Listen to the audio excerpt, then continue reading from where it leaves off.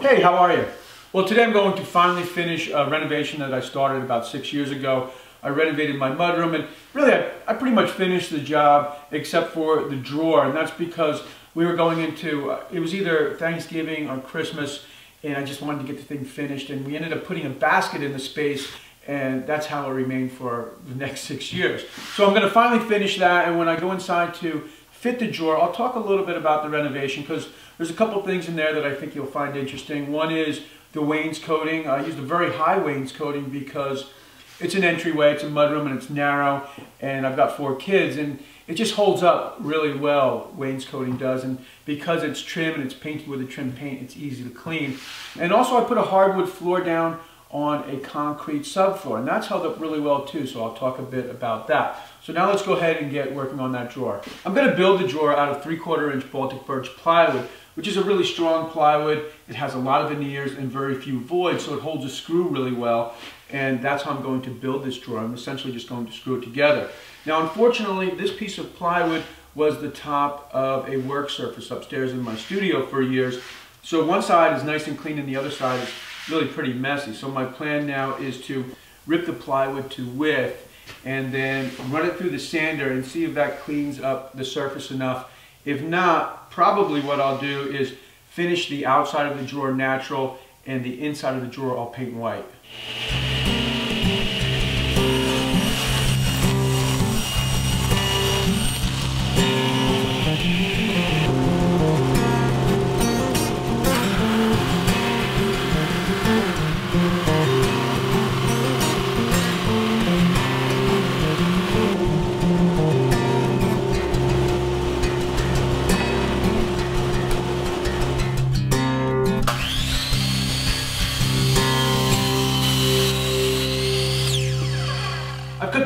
Sides and front and back to length and width.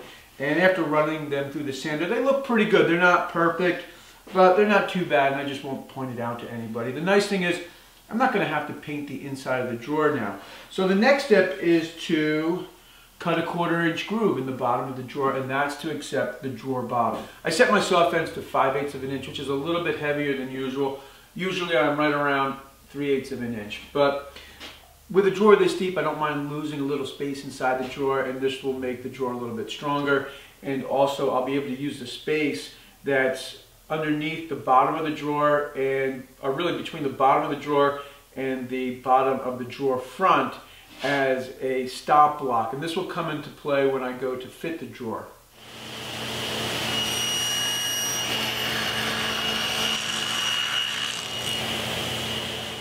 I've run all the drawer parts through the saw making an eighth inch groove and I also ran a scrap piece of plywood through the saw at the same time and the reason for that is now I'll back the saw fence up maybe a 16th of an inch, run it through the saw again and see where I'm at when I put it on the piece of quarter inch plywood that I'm using for my bottom. Chances are it'll still be a little bit too tight. I'll take a little bit more off and try it again. Once I have a nice fit on the scrap piece of plywood, then I'll run all the parts through once more.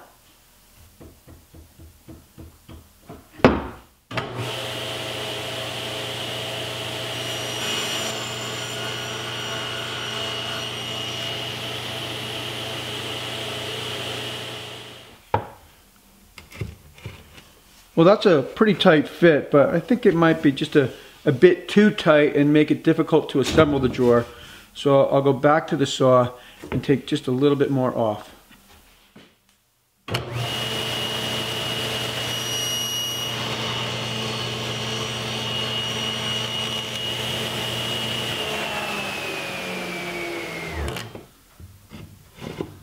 Okay, and I think that looks good.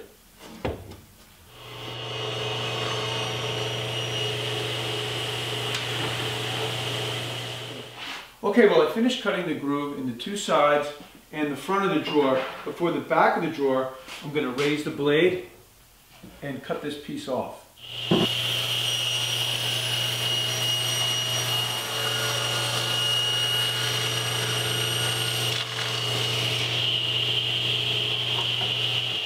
I've clamped the drawer together to get a measurement for the bottom of the drawer. And for the width, I'll measure from the groove from one side of the drawer to the other, which is 24 and 5 eighths. And for the depth, that's not quite as important because it doesn't matter if it hangs off the back a little bit. So I'll just measure the length of the drawer side, which is 26 inches.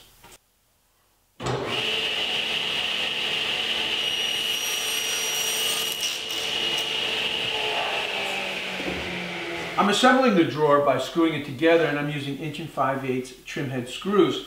And it makes for a really nice strong drawer and it's a pretty easy drawer to make. Now obviously there's a lot of different ways to make drawers, but if you don't want to get involved in dovetailing, this is one way to go. Now I think one thing to remember when you're using hardware is just take the extra time and measure out so everything lines up and there's a nice symmetry to your work.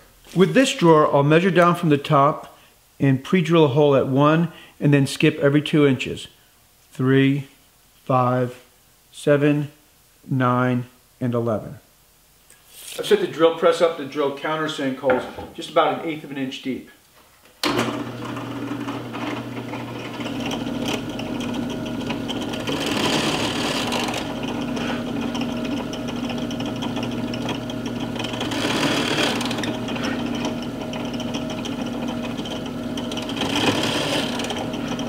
I put an eighth inch drill bit in the drill and now I'll pre-drill through the countersink hole.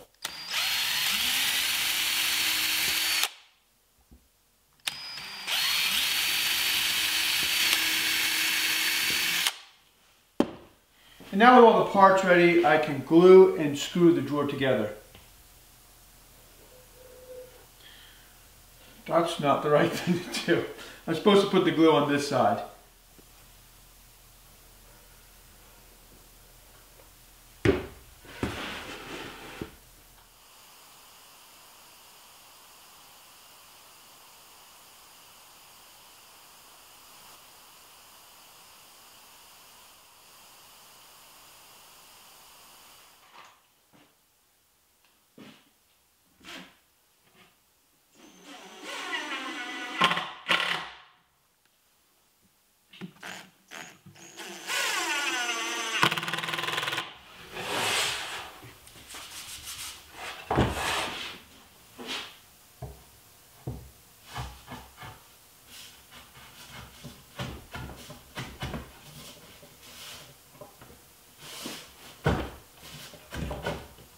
Hmm.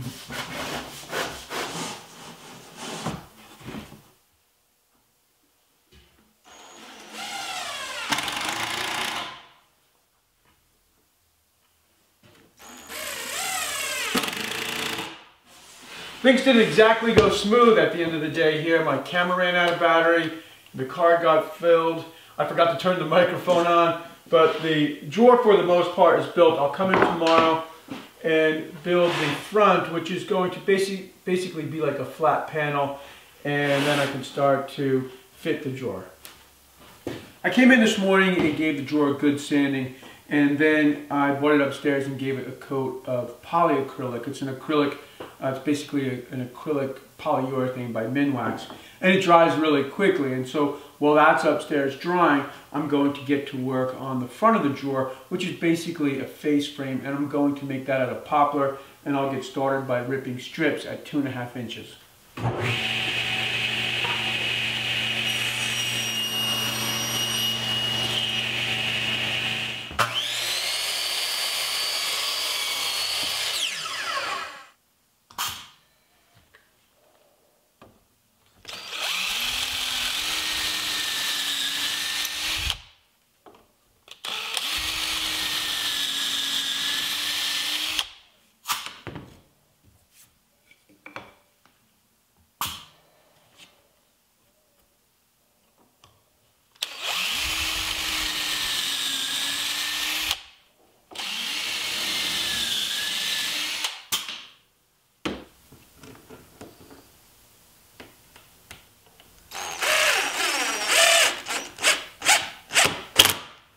Once I finished cutting my stiles and rails to size, I used the Kreg jig to join the face frame together.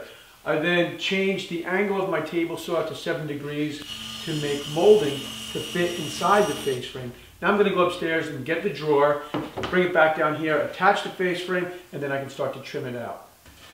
Well, the finish on the drawer is dry, so I can bring it back downstairs and get to work. And a quick look at last week's project. This is a cabinet I built for my daughter. The top is cherry and I finished it with four coats of Minwax Wipe On Poly. And the cabinet, I primed it with two coats of a latex acrylic primer and then painted it with two coats of a semi-gloss oil paint. Now I also let my daughter do a painting on the back of the cabinet. It's just kind of a, a nice way to remember her being little.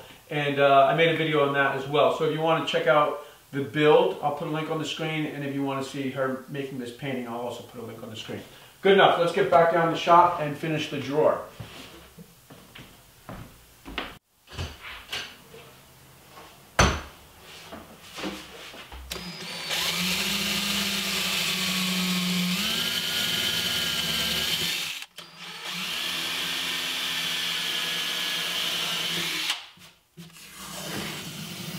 I'll use a little wood glue and inch and a quarter screws to attach the face frame to the front of the drawer.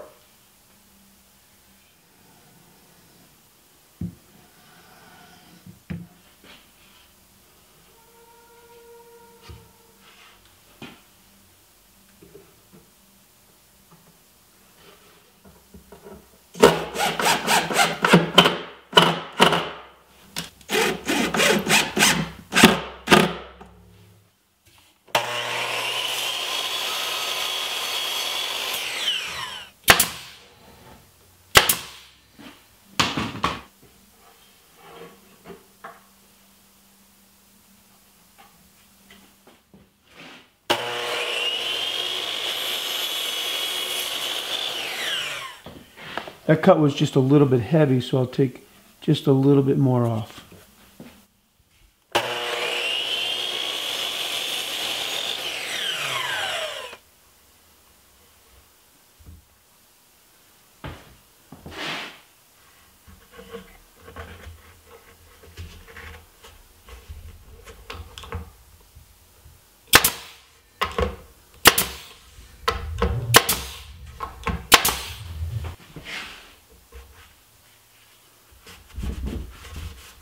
Now I'm ready to go inside and fit the drawer and I'll bring this piece of half inch plywood with me and this also happens to be Baltic birch plywood which is nice. It was just a scrap that I had lying around but it's it's good to use good materials and uh, Baltic birch plywood is just so much nicer than the plywood that you get at your home store. So anyway, uh, I'll bring this with me. First I'll pre-drill these holes and then we'll fit the drawer.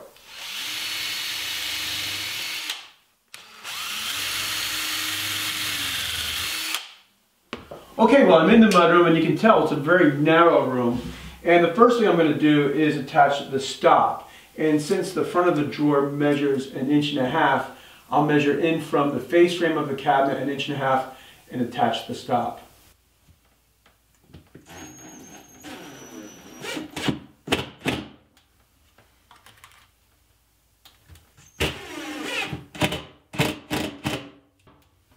I wanted to point out that I've also attached runners that are flush with the face frame of the cabinet and travel the depth of the cabinet. That will keep the drawer from shifting from side to side.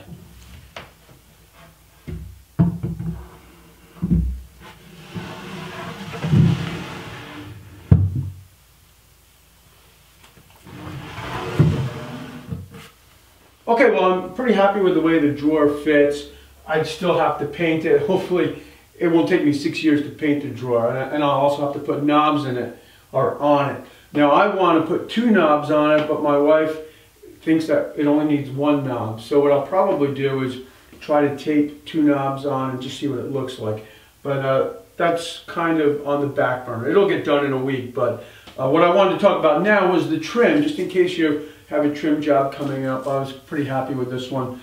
What I used for casing is 1x4 and then I backbanded the 1x4 with a piece of trim that measures an inch and 3 eighths. And the reason for that is I like to have the top of the chair rail dead end into the back band. So you can see that the top of the chair rail measures an inch and a quarter and that gives you an eighth of an inch reveal right here. And it's just a nice look. I always, I probably sound like a broken record, but when I talk about trim, I always talk about how does it end. You have to think about how the trim will end.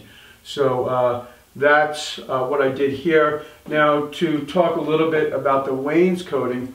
Uh, we used a high wainscoting because it's a really tight room and the kids just sort of ping pong off of the walls as they go in and out. And this stays clean pretty, uh, pretty easily. It's pretty easy to maintain. Now, I used a one by eight for my bottom baseboard. Let's just move the camera and take a look at it. For the baseboard, I used a one by eight, which measures three quarters by seven and a quarter. And then for the shoe molding, this is just a piece of molding that I ripped on the table saw that is a half of an inch by three quarters of an inch with a chamfer ripped on it or a 45 degree angle ripped on it. And you can see it dead ends right into the back band. Now the one thing to think about when you're using wainscoting, if you're going to use a tall wainscoting, is try to keep your wainscoting uh, under 48 inches because uh, in this case this is MDF which you buy uh, by the sheet and it's a 4 by 8 sheet and so if you keep your uh, your height under 48 inches well you can get two runs with one sheet. The total height of the chair rail is 54 inches and the wainscoting measures 43 and 3 quarters and that's because I'm to get the 54 you're obviously adding the width of the chair rail and the baseboard. One of the more difficult things I had to deal with when I started this project was the floor and this is a brick house and it's an entryway so I couldn't really change the levels too much so what I ended up doing was gluing down quarter inch exterior plywood with a polyurethane glue oil-based polyurethane glue and then I glued the hardwood floor down to the quarter inch plywood, also using an oil-based polyurethane glue. And it's held up really well. A little bit of insurance was to put the baseboard on top of the floor uh, at the end with the idea that if the floor wanted to pick up, the baseboard would help hold it down because it's such a short span. But uh, it's really held up well, I haven't had any problems. And since we're in the mudroom, I wanted to point out these ceramics. These are by my friend Judy Tavel, and I built this cabinet with the idea of showing her ceramics. And I also wanted to point out this frame. This is from a project that I made last year. It's a really fun project, and it would make a good gift. It's probably a good gift idea, and it's a fun woodworking project. And if you want to see how I made this, uh, I'll put a link on the screen to the video. Thanks for tuning in. I'll see you soon.